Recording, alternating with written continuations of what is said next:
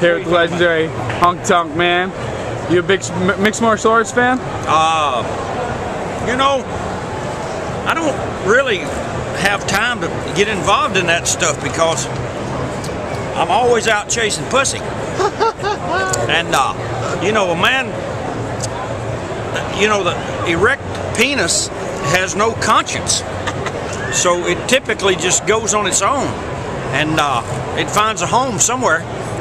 But uh, when I get a chance to, I like to Ken Shamrock and Dan Severn and all the old timers, the Gracies, when it was really real and it wasn't fixed. See, there ain't but one thing real, and that's roller derby.